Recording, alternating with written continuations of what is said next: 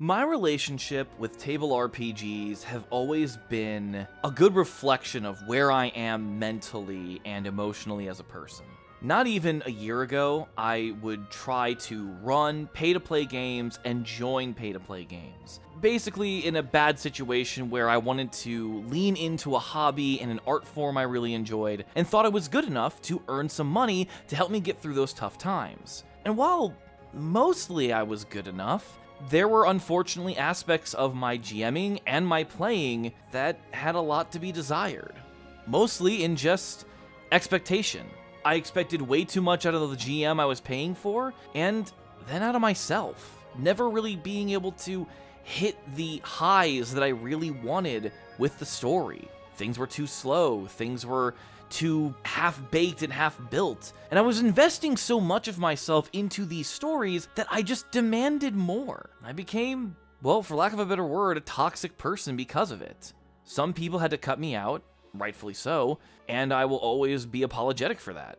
Others, generally the players I was running the game for, I was able to find a middle ground and simply tell them that, hey, we are going to do this one or two last sessions and then we're going to wrap up because I can't do this anymore.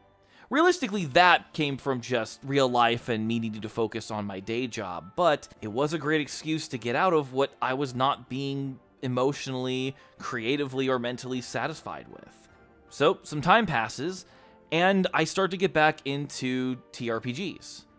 Specifically, thanks to the Mythic GM emulator. Reading this book, trying out the rule sets and the tables and the dice rolls had fully helped me understand where my mentality for TRPGs had been so wrong. Now, before I go any further, this is purely subjective and my own experience. I'm not saying that the way you run your tables is bad or even that you're doing things the wrong way because you're doing a more traditional setup with one person being the storyteller or the GM and the others being the players.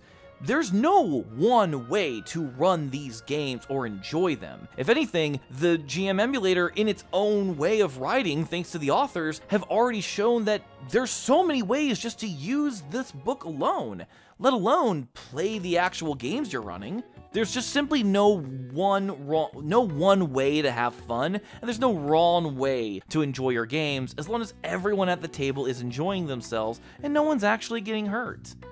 So, after kind of revealing my heart a little bit and explaining to you a little bit of where I'm coming from when I got this book, let me tell you about it. The Mythic GM emulator is a sequel to a book that created a means of playing the game by yourself. Which you might think is kind of weird. This is supposed to be a team orientated game. But in truth, it became a very fun way to practice role play and team comps and really being able to understand a game you were playing because you had all these different tables and all these different combinations of dice rolls to help inspire you for a new story. The emulator is not a means of replacing people, it just simply takes some of the power away from the GM, thus some of the responsibility, and gives it more to the player so everyone is more actively involved in the storytelling. Or if you're playing by yourself, it just lets you not feel like you have to entertain anyone but yourself, and you can practice some classes you may never have been able to do before. The second edition is just purely better in every single way. And it's not just me who thinks that, obviously, the author has that, but there is a tidbit where the author seems to really express that while the first book was a great step forward, there's been a lot of playtesting, there's been a lot of comments, and there's been a lot of new methodologies of how games work where we were able to take another step beyond what the first edition gave us. Not to mention giving us a heck of a lot more options and a standard for how some of these dice rolls go. Honestly, everyone involved in this book deserves to get applauded because you've created a tool that anyone can use in almost any way. But enough of a fluff piece, let me actually explain how this works. Let's say you have yourself, a GM, and two other players. We'll go GM, player one, player two.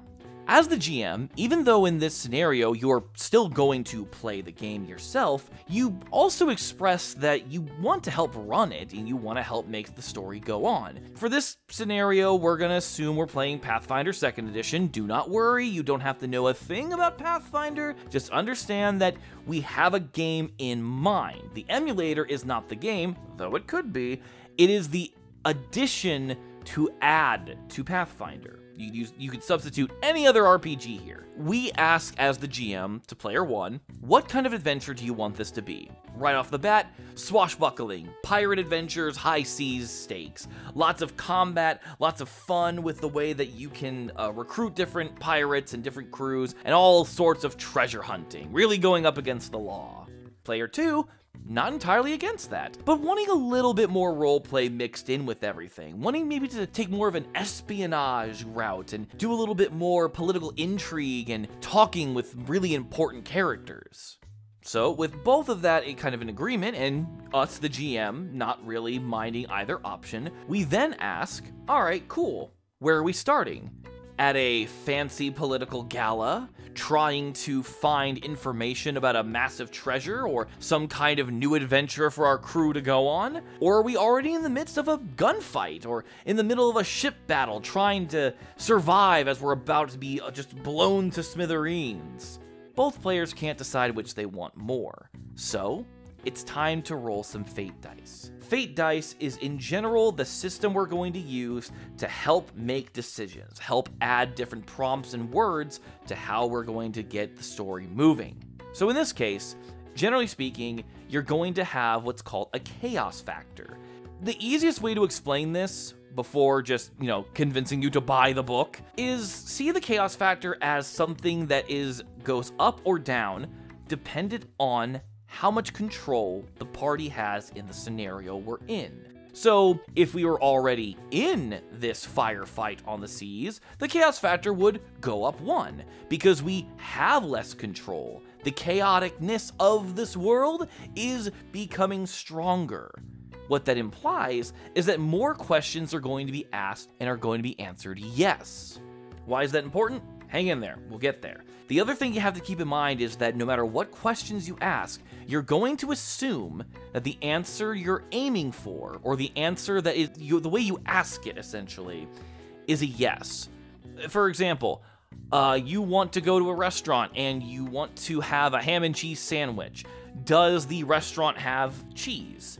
Well, you really want that cheese, so you're gonna say, I'm gonna say yes, I would like for this place to have cheese. You think it's likely that they have cheese, you roll dice, and there you go.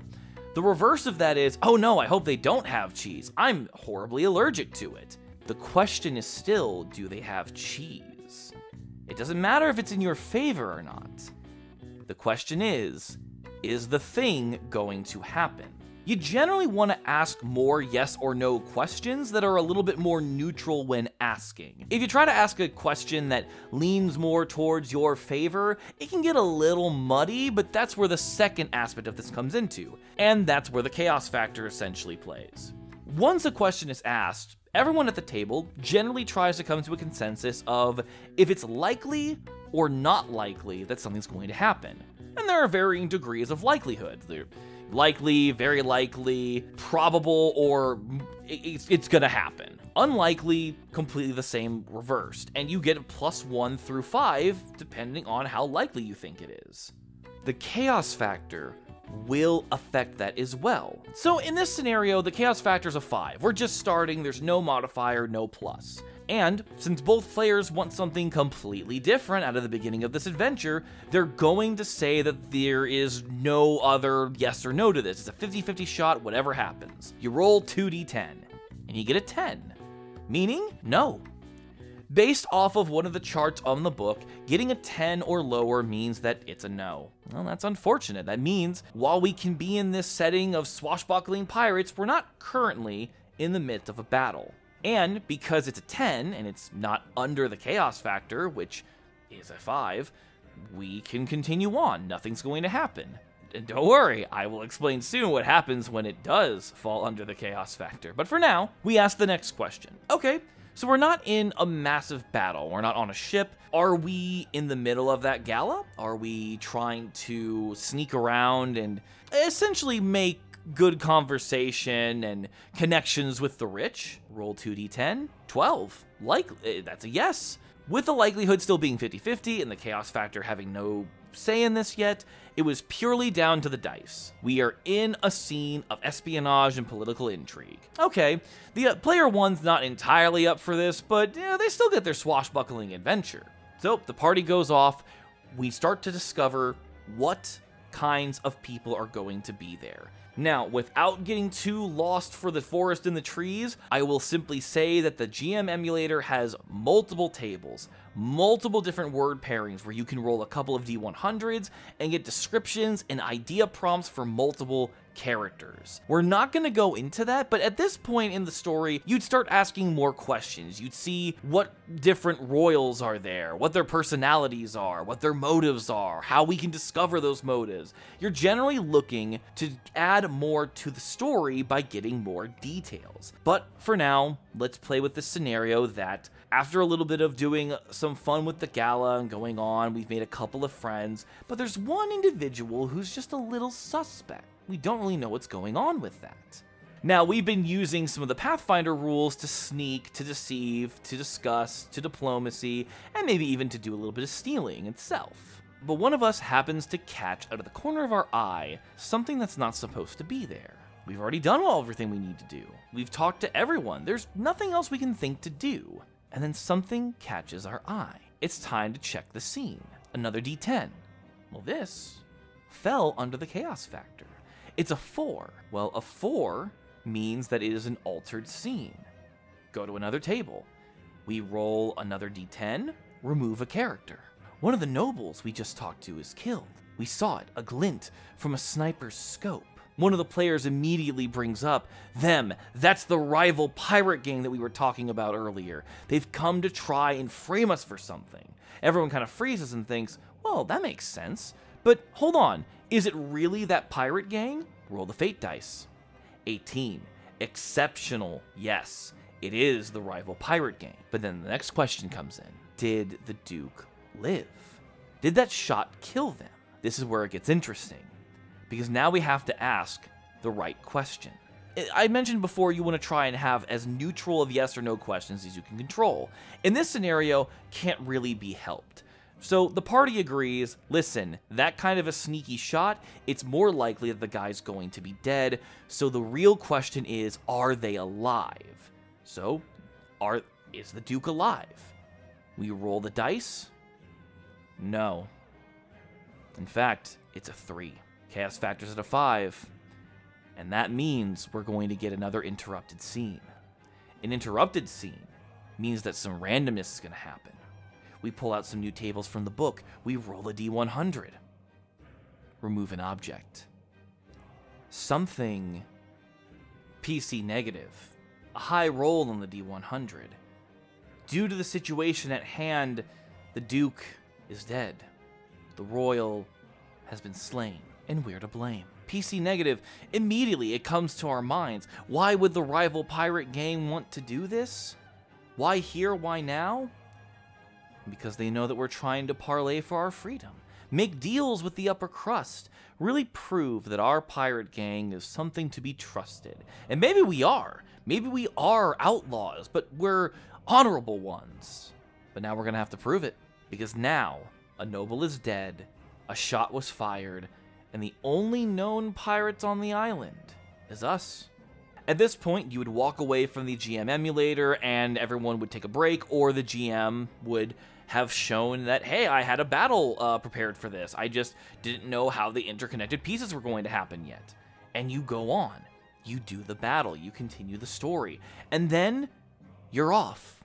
This is where the example would have to end because there's so many other turnabouts and twists and insanity you could take. However, one thing I would add is that since all this is happening, since things have gotten so out of control and not of our own choice, the chaos factor would go up. 6, meaning a modifier of plus 1, meaning every fate question that is asked from here on until that goes back down gets an automatic one to every potential yes question, good or bad. The fun of this concept, I hope I've been able to explain, is that a GM is able to do as much prep work as they want, even get involved in the story as much as they want, because they don't know what's going to happen. They don't know what's there happen. We don't know. But it allows the players to also tell the story going forward. You can prepare as many NPCs, as much of the battle, um, as much of the map as you'd like. Or if you are more improv focused, you can have a couple of things prepared, have an idea of where the story's going to go, but you want to see what the players and the group can come up with. What insanity will come together through just telling them, you're on a boat, what are you doing? And that's always been the fun of TRPGs. Just, you're in a location, this is what you see, what do you do? But now, for someone like me who gets way too caught up in trying to come up with a million different answers and ways to one, keep the players on track, and two, cater to what they're trying to do, I don't have to choose between them. If I personally set up a villain and a battle, it doesn't matter where I place it, I just have to make sure we get there. If the players end up going on a completely different side tangent, and I didn't prepare for it, that's fine. All I prepared for was here's our goal, here's the thing we want to fight, how do we get there? And asking your players how we get there, but you know, more creatively, like I showed before, is the whole fun of seeing where this goes. Now, I implied that as a GM, you would be a player as well, and in the example I gave, it works because you don't entirely know how this is going to go down or where this is going to go. But if you don't want to be the GM who puts their player in there, doesn't want to have a character, you can still use these methods as a GM. Just ask the questions, prod your players, see where it's going, and have some level of prep done maybe less or more than you normally would, but now you can rely on the book and the words and your players to take the story in directions rather than having to rely only on yourself. Now, players won't feel as discouraged for just having to sit on their hands and not do anything and not partake because it's not their scene, it's not the part of the story they care about. The, anything could happen if you just let these dice and your players help tell the story. That way, in a lot of stories where things just aren't as engaging for everyone, including you, the GM, anything could happen. Now, if you're not wanting to use this so lively right off the bat, you can use any of these tables as a method of creating a storyline or prepping yourself. I'm sure there are several GMs out there who are sitting down trying to scroll through monster lists or scroll through Reddit or even just scroll through different story prompts on a fanfiction website, trying to get some kind of inspiration for what are we going to do this week? What's the adventure? I can't think of anything. Roll a couple of D100s for an adventure theme. Roll a couple of dice to figure out what your characters are looking for, what MacGuffin thing it does roll a couple of dice to give you descriptive words for characters, whether it be an old hag with a foot fungus or a beautiful prince who also is secretly a devil. The sky's the limit because you have a tool and a prompt to work with. You can use the Mythic GM emulator as much as you want and plug it into your game as necessary as possible. And some games just aren't going to work with this. A buddy of mine pointed out that Blades in the Dark is a very reactive storytelling kind of game. It's not very crunchy when it comes to the actual combat, which is fine. It, that's basically using, from what I understand, the same methodology and even some of the same ideas as the mythic system to tell its story. So you're already kind of knowing what's going on by using it. Whether you're a GM trying to tell a story and just need new, fresh ideas and you just need something to get those gears turning, or you're a GM or a player who just wants a couple of buddies together and see what the hell happens. You don't prepare anything, maybe only a, a single combat, and who knows what happens. It becomes a game again. It becomes a story that doesn't feel as forced and doesn't feel so beholden to your creative spark, and everyone gets involved. If I had been running games more like this, even just for free, probably especially for free, because I can't, I, I don't think I could justify or see myself paying people to do this But that would be okay. Because everyone would be having a good time. Everyone would be getting involved. Everyone would have something to say and could be inspired just from a dice roll telling you, yes, you jumped over the dragon, or no, you didn't get out of the cave collapse in time. You never know what's to happen, and that's the fun of it. This book, The Mythic System, saved my love of TRPGs and made me reflect on the kind of person, game runner, and player that I was, and that I am now. To those people that whose time and patience and energy I wasted, I'm sorry. There's no excuse for who I was. And this book didn't make me a better person. It just came into my life when I was ready to start being better. And if that very dorky, heartfelt sentiment does anything for you, I hope it's enough to have you look at this book and implement some of the ideas to make your games better. It's a tool, and you might not find any use out of this. Maybe it's just a fun little read for you. There is no wrong way to play, but I think you'd be missing out if you didn't give this a shot. My name's Basil, not the herb. I stream on Twitch. I play everything from fantasy games to co op games to even running a couple of TRPGs just for the hell of it. If you want to follow me on here, or at Twitch, or any of my socials, or even jump in my Discord, I welcome you with open arms, and I hope we get to all have fun playing games together. See you next time.